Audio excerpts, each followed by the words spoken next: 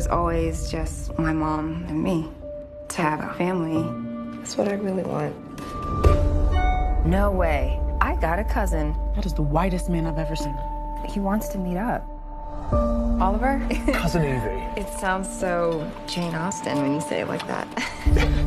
you know, my mom always wanted to take me to England to learn about our family history. There's a wedding coming up, actually. You should come. I would love to, but I. Come on, everyone is dying to meet you. Uh, Wow, it's incredible.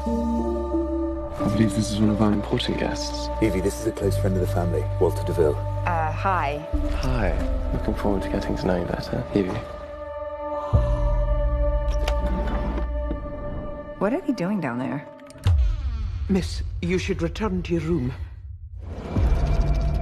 We're all so delighted that you're here.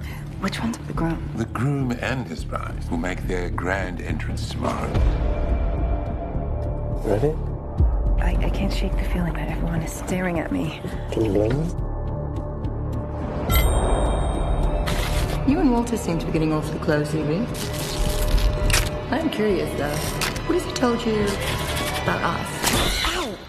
Let me see.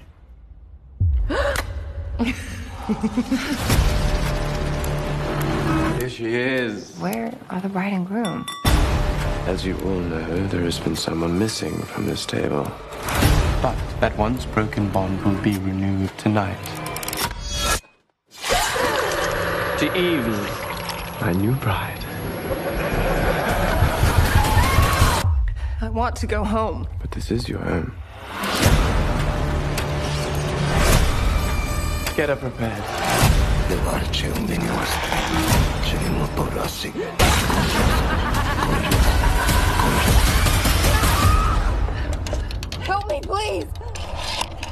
Here, dear. Hello, Mr. Harker here. There's a young lady who seems quite distressed.